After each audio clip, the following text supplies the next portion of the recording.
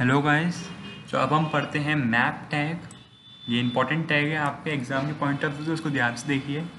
So basically इसका काम क्या होता है? सो so, आप देखिए लेट सपोज़ आपके पास एक इमेज है ठीक है? चलो मैं आपको एग्जांपल समझाता हूँ ठीक है?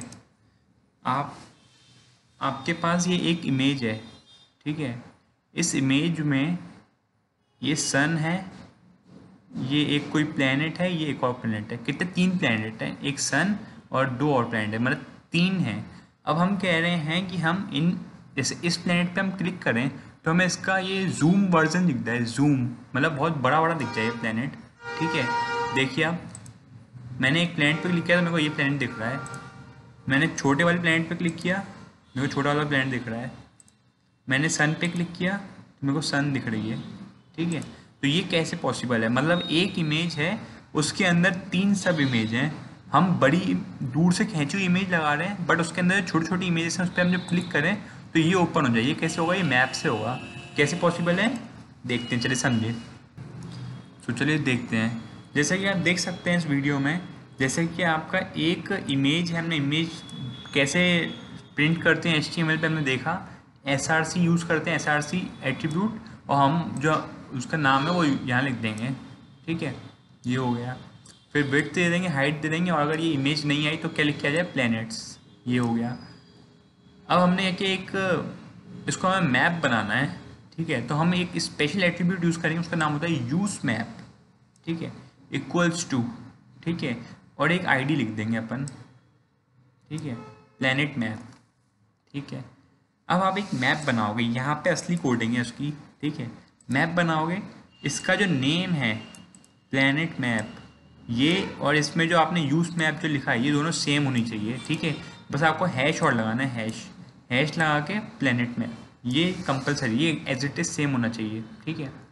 अब इसके बाद कितनी सब पार्ट्स होने चाहिए? तो इस इमेज में तीन सब पार्ट है। वन ये दूसरा छोटा प्लानट तीसरा ये उस बड़ा प्लानट तीन तीन सब पार्ट होने चाहिए। तो मतलब इस मैप के अंदर तीन एरियाज़ हैं। ठीक है? तो अपन को अब क्या चाहिए कोऑर्डिनेट्स चाहिए। कोऑर्डिनेट्स क्यों? तभी तो आप इसको क्लिक करोगे और यूज़ करोगे। लाइक आपने कहा कि एरिया और आपने कहा शेप होना चाहिए इसका रेक्टेंगल और जो कोऑर्डिनेट्स हैं, वो टोटल चार कोऑर्डिनेट्स हैं क्योंकि ये रेक्टेंगल है। यहाँ आपने रेक्टेंगल लिखा ना, यहाँ सर्कल है सर्कल में एक होगा स्टार्टिंग पॉइंट और डायमीटर ओ सॉरी रेडियस ठीक है? मतलब सेंटर और रेडियस सेंटर और रेडियस, सेंटर और रेडियस, ठीक है?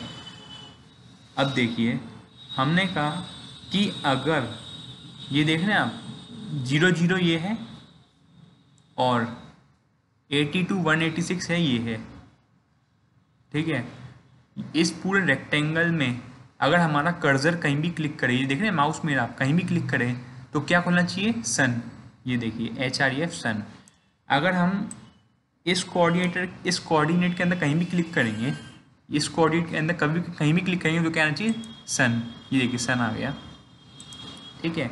अब हमने कहा 90 से लेके फिफ्टी एट थ्री ये सर्कल का वो है, ये देखिए, ये वाला 98 58 थ्री ऐसा कोऑर्डिनेट इस पर हम कहीं भी क्लिक करेंगे तो क्या खोलना चाहिए? मर्क्यूरी देखिए, ये आ गया मर्क्यूरी अब हमने कहा एक और एरिया है, ये वाला, इसके कोऑर्डिनेट है one twenty four fifty eight और ये है वीनस जब हम इस पर क्लिक करें तो क्या खोलना चाहिए? वीनस ये आ गया वीनस ओके तो आई थिंक आपको समझ में आ गया होगा क्लियरली कैसे यूज़ करते हैं हम। एक सबसे पहले आपको इमेज टैग यूज़ करना है। उसके अंदर आपको एक एट्रीब्यूट्स यूज़ करना है यूज़ मैप और इसकी जो नेम है ये और ये जो मैप के अंदर जो नेम है एज इट इज़ सेम होने चाहिए। और फिर जितने भी आपको डिवीज़न करने, जितने भी एडियस चाहिए एडियस लेके कोऑर्डिनेट पास करके और इमेज पास कर दें डेट्स ऑल ये होता है इमेज नथिंग एल्स ठीक है? सो आई होप आपको मैप टैग समझ में आ गया होगा। अब हम समझते हैं link tag so link basically क्या होता है कि हम अभी सी एस एस पढ़ेंगे। सी एस एस क्या होता है? तो हम सी एस एस को एक सेपरेट फ़ाइल में लिखते हैं। जैसे हमारा ये एक पेज है। इस पेज की जो सी एस एस होगी हम एक सेपरेट पेज में लिखेंगे। तो अब हमें यह करना है? वो जो सेपरेट पेज हमने लिखा उसको हमें एक मिल जाएगा पेज सपोज़ से एक, एक पेज का नाम है theme dot C S S जैसे एच टी एम एल का फ़ाइल होता है फ़ाइल का नाम होता है theme dot H T M L वैसे theme dot C S S एक नाम हो जाएगा। अब वो जो फ़ाइल है, उसको अपन को अपने एल में इम्पोर्ट करना है तो वो कैसे करेंगे? लिंक से। हम लिखेंगे लिंक और R E L equals to style sheet है ये। ठीक है टाइप है इसका सी एस एस और जो रेफरेंस है वो है theme dot C S S that's all so हमारी जो सी एस एस है वो इम्पोर्ट हो जाएगी हमारे एस टी एम एल में। ठीक है? तो ये होता है हमारा क्या? लिंक टैग ठीक है? आई होप ये भी क्लियर हो गया होगा। सो आई होप आपको समझ में आ गई होगी। So thank you very much subscribe करना मत भूलिएगा।